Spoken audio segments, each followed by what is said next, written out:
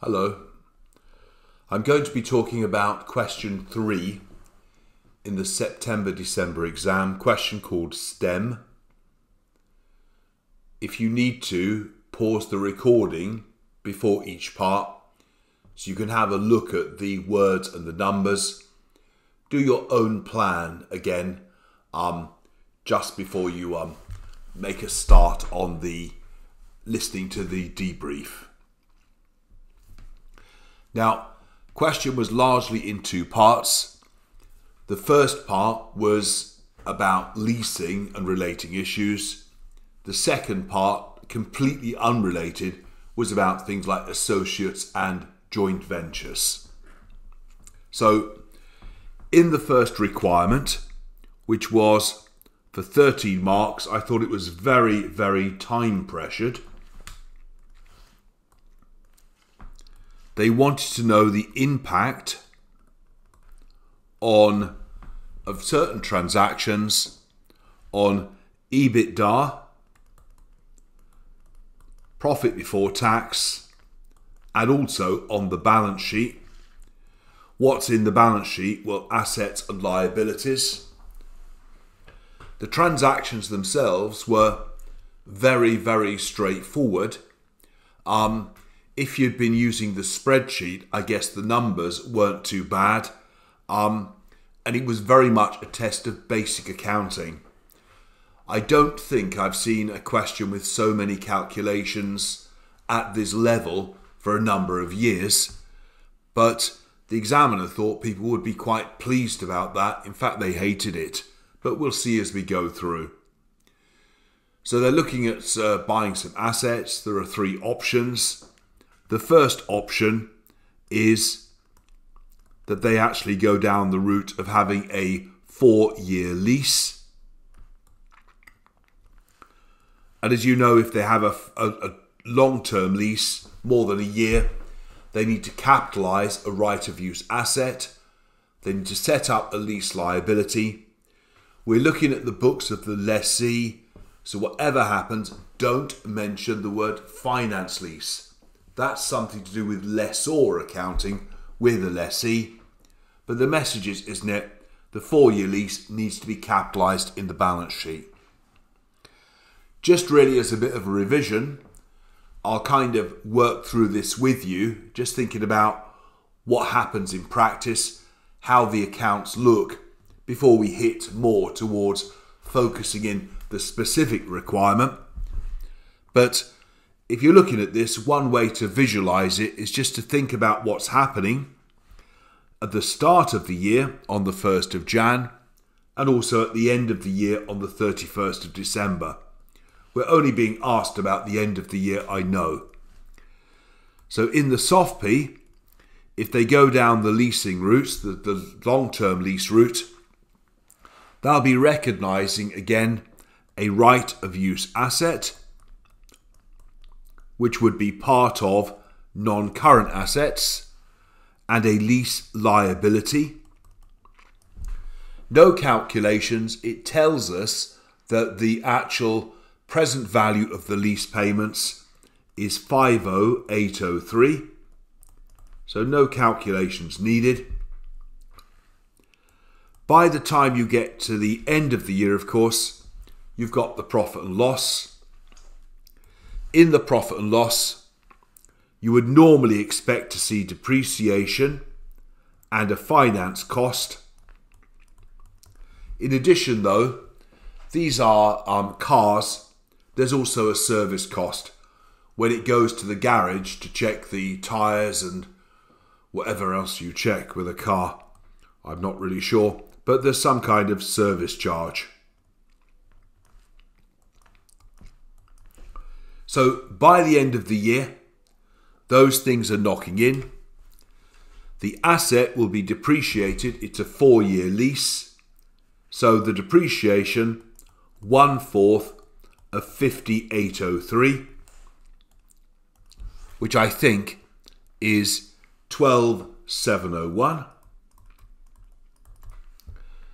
The service charge was given. It's 235 for 12 months. So 12 lots of 235.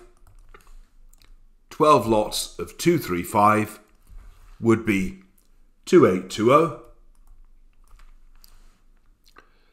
The finance cost, I think, was given. It says the interest has been correctly calculated, so don't start making trouble.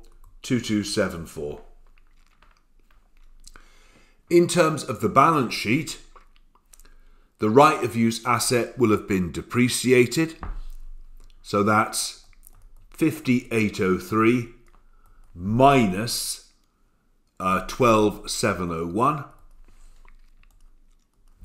So that would give you 38102.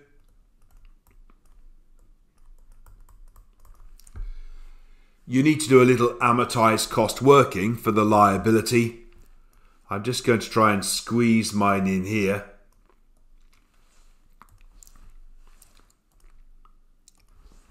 So on the liability side, the brought down liability at the start of the year was 5803. We know that the finance cost we've just worked out was well copied 2274. The only messy bit is the cash. As far as the cash payments go,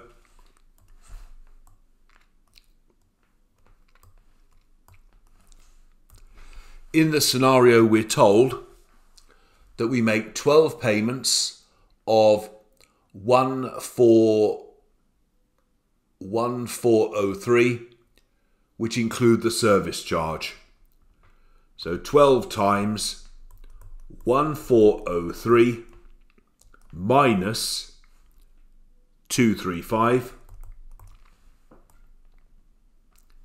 Just put that arrow up here instead. There we are. That's better. So that would give me cash paid, I think, of 14016. Looks a bit untidy, sorry. So that's 39061.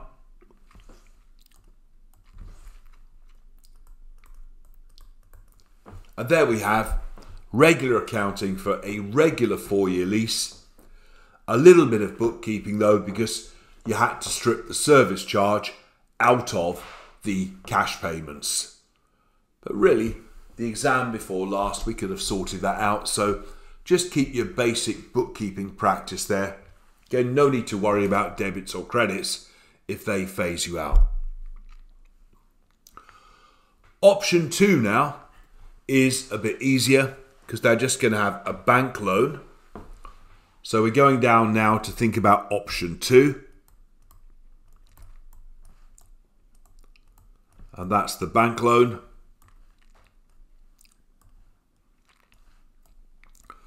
I'll use the same format for now. So 1st of Jan, 31st of December,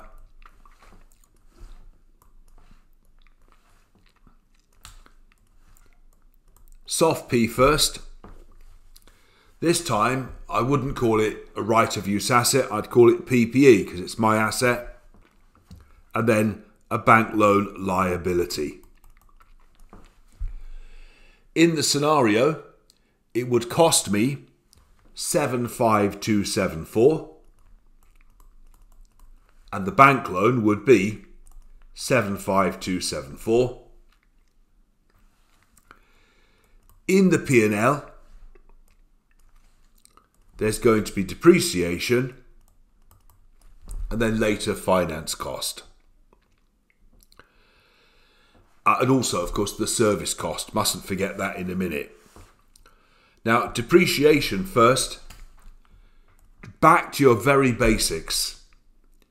So remember residual value 75274 minus residual value at the end of the life, which is um, 29753. Again, all over 4. So that would give me depreciation of, I think, 11380. So we mustn't get things like residual value wrong, because that's again back to your basics of bookkeeping. So, on the carrying amount of the asset, therefore, it's gone down, hasn't it? 75274 minus the first year's depreciation of 11380. That must be 63894. If I make a transposition error, don't worry about that for the moment. I think we're okay so far. Service cost. As before, going through, same as last time. 12 lots of 235.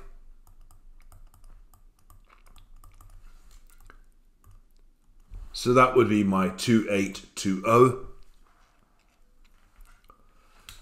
And finally, the finance cost. I don't think we need to set up a big amortized cost working. It's one year, it's 5%, so I can just put 5% on the liability, can't I? 5% of 75274 would give me 3764. No payments are made at this point in time. The first payment is on the first day of the following year. So the closing liability would be 75274 plus 3764. So that would give you, I think, a closing liability of 7 9. I think that's 79038. So that's option two. Option three is they take advantage of the optional lease exemption that where you have a lease of 12 months or less, you don't have to capitalize it. You can just expense it in the profit and loss. So option three has to be the, the easiest one in life. Option three, there'll be nothing in the balance sheet at all, will there? So there'll be nothing on the 1st of Jan, but by the 31st of December, this is where you take advantage of the short term lease exemption.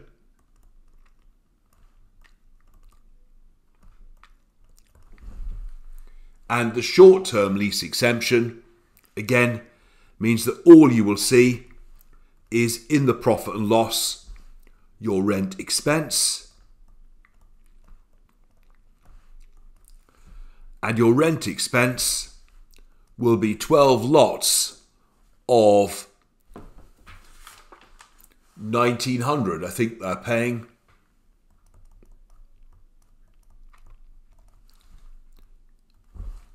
Twelve lots of nineteen hundred, which I think is twenty two eight.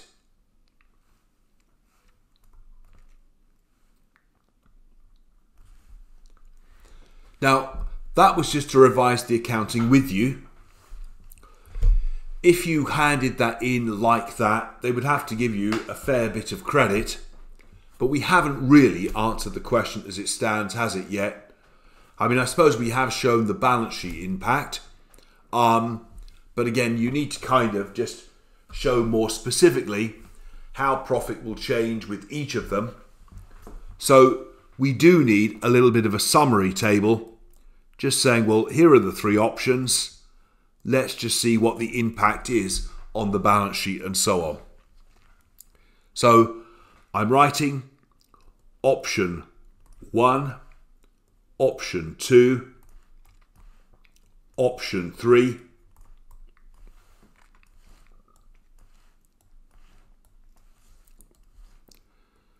balance sheet first.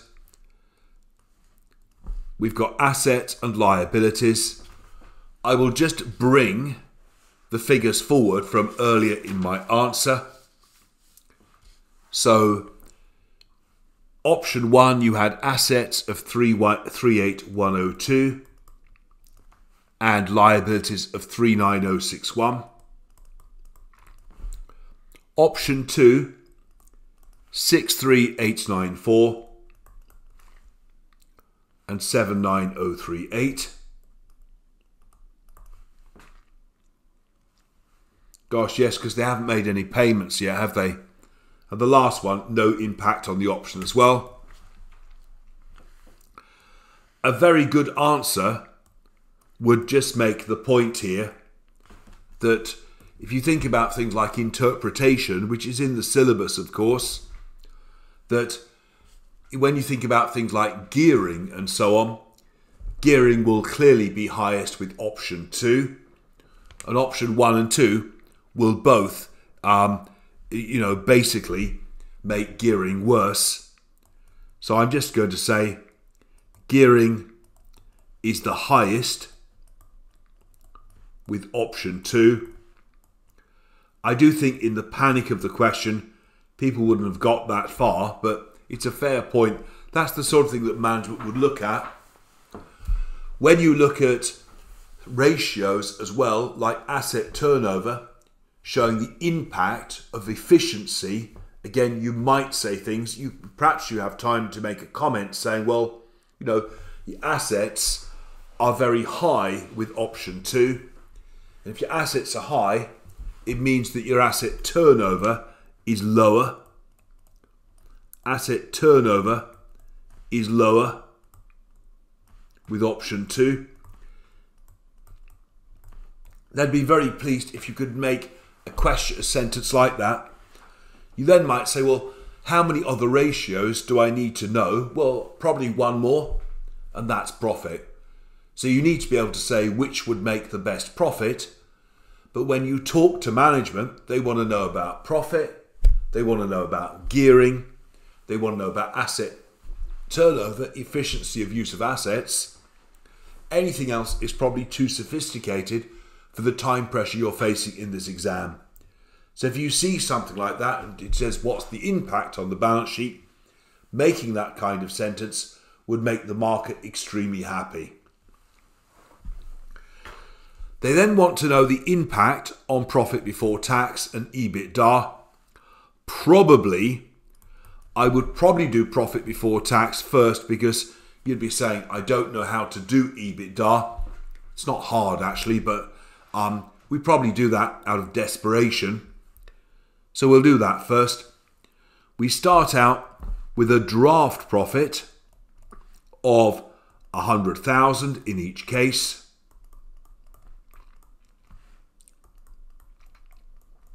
Draft profit of 100,000. That's right at the bottom of the exhibit. Then we've got the various adjustments. Depreciation 12701 and 11380. The service cost 2820 2820 very different questions I've seen in the past but working in other syllabuses, I've often seen this style of question. So I think he may well return to it. And it's a way of testing interpretation of accounts. Say, well, how would the accounts change? The transactions would be fairly simple, although a bit messy. Finance costs, I think we said double two seven four three seven six four. 3764. The point is that with the third transaction, you've got your rentals, so whopper sized rentals of 22,800. Now, you'll all have a different PBT. All he wanted to see is that you knew roughly what you were doing. So I wouldn't worry if your number isn't specifically right. So I'm putting these figures down. I think they're right. H2205, H2036, and 772. There's your PBT.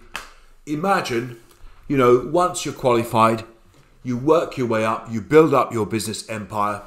One day you become a great leader of business, and there you are at the heart of your empire making a decision about company cars.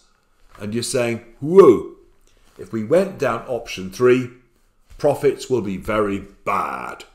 However, Um, gearing would look better.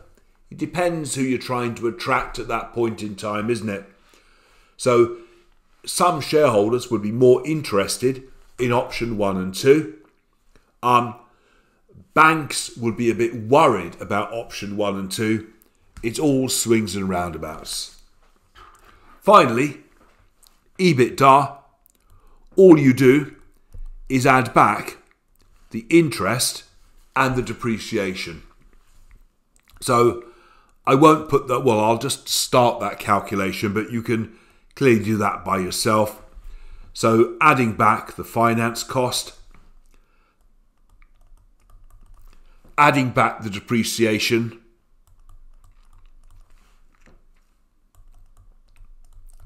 there's nothing to add back in the right hand column. So I think the final figures are 97 180, 97 180 after all that, eh? And 77 2. So, in fact, if you add back those things, actually, you know, it, it, it even more greatly, significantly shows the difference between the three options. It's the old thing, isn't it, about whether you rent or buy. And if you rent, life's a sausage, as my old mum used to say, and sometimes with renting, you're often worse off. There we are. Important with that question take the numbers, go on, use the ACCA software, and just practice again only the basic formulae to make sure you're happy typing in and using the software to your best advantage but there will be more questions coming a bit like that. I know, not technically very horrible, but just a bit fiddly. If you need to, pause the recording before you look at part B. In the first part of part B, we were asked for four marks and it said don't worry about the scenario we were asked for four marks about when you have something like an associate, is equity accounting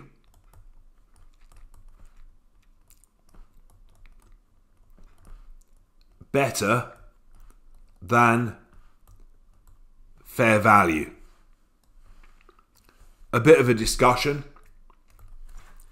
it comes back to the old chestnut, doesn't it, of cost accounting versus valuation accounting. So we know at the moment that when you have an associate, again, the existing rule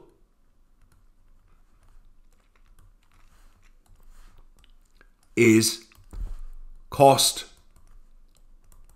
plus share of post acquisition profits I'm just putting a pi sign for profits. The suggestion we're now being asked to discuss a, a so called current issue for four marks. And like all current issues, four marks is plenty, isn't it? Just so you can say, well, I can demonstrate I understand the issue, would be to use fair value. And you're back to the old chestnuts about those characteristics of financial information because fair value might be more relevant. And you can explain relevance a little bit.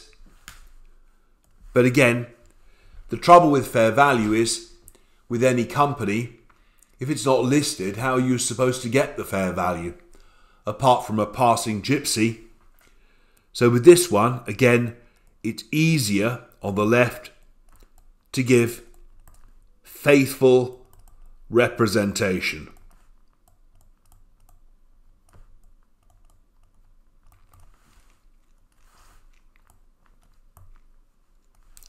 So, you know, you can get a more um, reliable measure because you know what the cost was, you know what post acquisition profits are.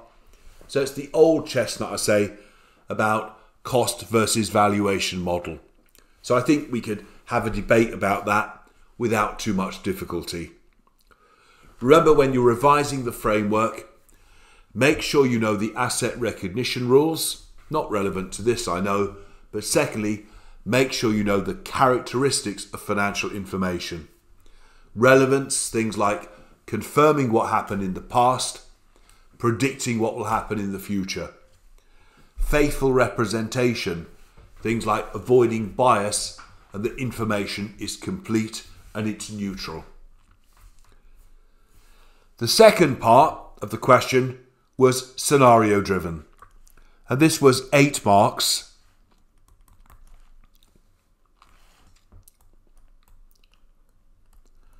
There were two parts to it, of which I four. The first part was fine, and the second part was prize winner. There will be prize winner marks in every exam, and they're here, I think. But the, the bit that's easier is that it says, first of all, well, why should you account for a particular investment called emphasis, whether or not it would be a joint venture? Let's deal with that first. Whenever you talk about joint ventures, you have to go through a two stage process. Step one is that you have to say that something will be seen as a joint arrangement, and that is if each party has the right of veto.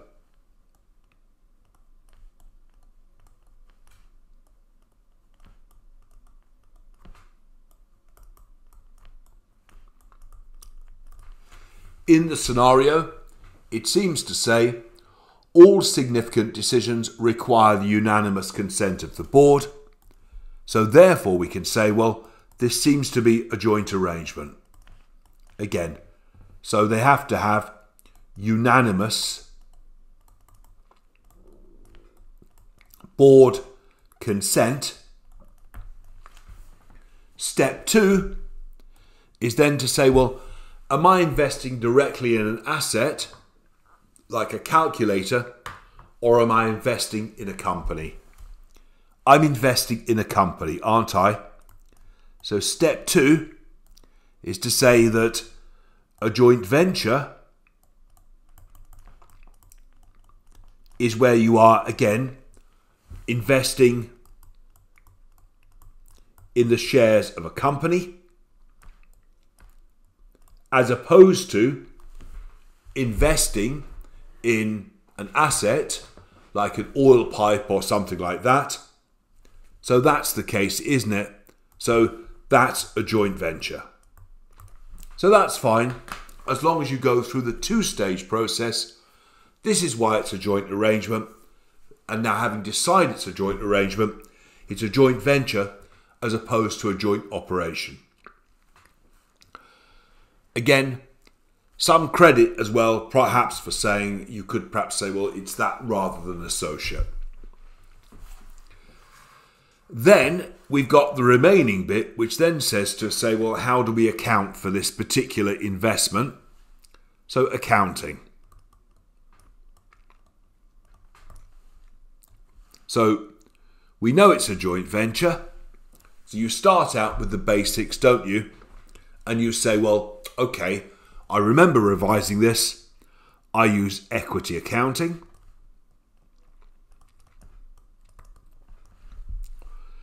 And that would normally be, wouldn't it, the cost of the investment plus the share of post acquisition profits. Same as associates, isn't it? The reason that a distinction is made is that they used to have different rules. They don't now, fortunately. So we're okay so far, aren't we? We've said it's equity accounting. We've said that. We're now looking at the numbers. And what I know is that the cost of the investment was 150. There are no post acquisition profits at the moment. 150 plus well, there are no post acquisition profits at the moment. Zero is 150. And then Later, you look at the model answer and your world falls to pieces. You burst into tears. You throw your study manual out through the window or at the pussycat. I hope you don't throw it at the pussycat. And you go, I don't understand anything because there's some prize winner point in there. And the prize winner point, which would be the last two marks, but if you didn't get them, you still get 98 in this exam. That's quite a good mark, isn't it? Is that there seems to be a difference between what you put in and the fair value of the net assets. It's very strange, isn't it? Because you've put in 100, you've put in 150. The fair value of the net asset is 470. It doesn't seem to make sense because 40% of 470. So 40% of 470 is 188. And you're saying, well, I don't understand this because I put 150 in and now I've got something that's worth 188. I suppose that's all about bargaining power.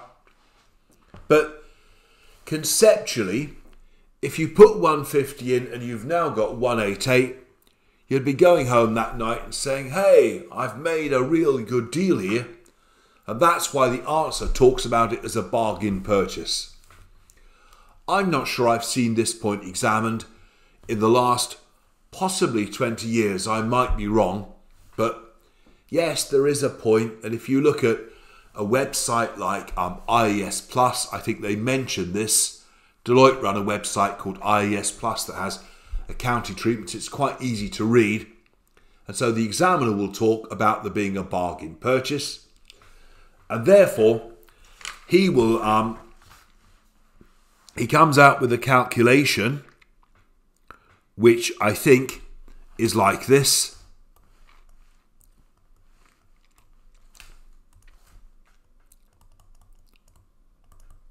So, you know, things like this, if you're planning to sit this exam in the year 2044, so you're going to take a long time, it might come up again. If not, I don't think I, I would throw too many toys out of the pram. But he says cost 150 and then it's it's almost it's kind of a bit like goodwill sort of but so bargain purchase 38 188 again this 188 here the easiest way to visualize that is 40% of uh, baba 470. Kind of visualize that as a balancing figure. Hey, yeah, you made a bargain. You made a bargain on it. Well, it's there. I would not be losing sleep. Now, believe me, you know, don't forget on Open Tuition, we have an Ask the Tutor facility. You can send me questions at any time. If you're sending me questions about this, I will just refer you to what I've just said on the other hand, you know, if you turn up not being able to do this, it doesn't matter. But, but, if you turn up not being able to do this, apply residual value, that's where we're in trouble. Remember, please, as with so many of these exams, stick to the basics. Thank you for listening.